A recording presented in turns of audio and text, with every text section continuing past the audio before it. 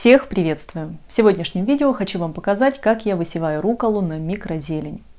Это очень простой процесс и с ним справится даже тот, кто ничего до этого не выращивал.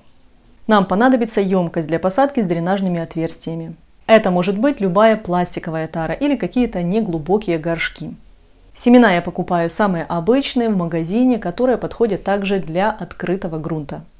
Также нам понадобится субстрат. У меня это почва для посадки зелени, но вы можете взять также и универсальный грунт.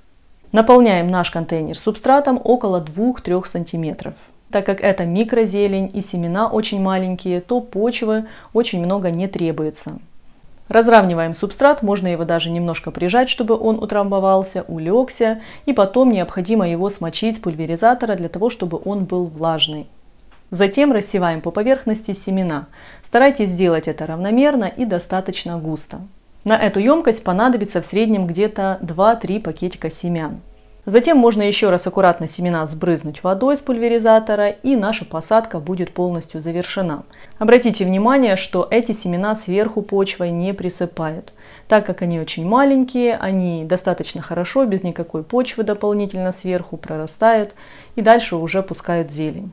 Чтобы создать более влажные и теплые условия, такую мини-тепличку, мы можем сверху накрыть этот контейнер пищевой пленкой, поставить эти семена для того, чтобы они проклевывались в темное место.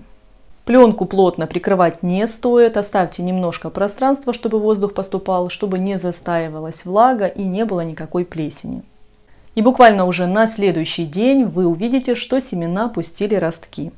После того, как семена руколы проклюнулись, их можно выставить на светлое место, но избегайте прямых солнечных лучей. При этом обратите внимание, что пленку еще можно оставить, так как влага не будет так быстро испаряться и зелень активно пойдет в рост.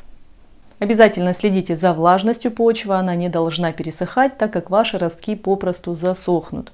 Поэтому периодически смотрите, и если вы видите, что почва подсыхает, сбрызните ее аккуратно с пульверизатором, но не допускайте излишнего переувлажнения почвы.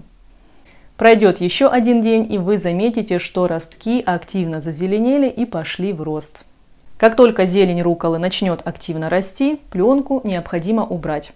Этот процесс занимает с момента посадки в среднем где-то 2-3 дня. Но все, конечно же, зависит и от условий. Чем теплее у вас и более высокая влажность, тем активнее растет зелень. В итоге в среднем где-то за 5 дней вы получите вот такую вот пышную ароматную зелень. Рукола – это одна из культур, которые очень быстро произрастают, развиваются, и у вас буквально за 4-5 дней будет вот такая вот ароматная зелень. Она также быстро растет, как и крест-салат. О его посеве я рассказывала в одном из моих прошлых видео. Поэтому, если вы хотите очень быстро что-то вырастить у вас на подоконнике, при том круглый год, то подобные культуры, как рукола, крест-салат, вам идеально подойдут. Это действительно очень простой процесс. Буквально за несколько дней в любое время года у вас на подоконнике витаминная свежая зелень. При этом это очень занимательно, в особенности если вы будете делать это с детьми. Им будет очень интересно наблюдать, как растут и развиваются растения. Если у вас появились вопросы или дополнения, пишите их в комментариях. Также можете присоединяться к нашим группам в Facebook, там есть очень много интересной, полезной информации. Ну и помимо этого вы также можете задать там свои вопросы. Ссылки будут в описании под видео. Я всех благодарю за внимание и подписку, желаю вам здоровья и до новых встреч!